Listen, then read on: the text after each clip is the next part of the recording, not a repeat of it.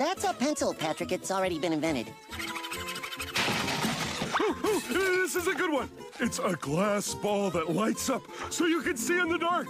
Light bulb already invented. SpongeBob, I know this one will work. I've invented a parallel universe. That's a mirror, Tubby. It's already been invented. Nobody calls me dummy. Well, I thought it was a pretty good idea.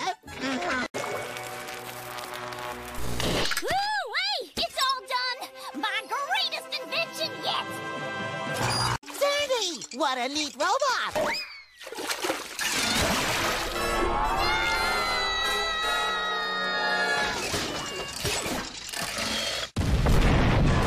I'm sorry, Sandy. We were trying to keep you in Bikini Bottom. I was about to be fired anyway.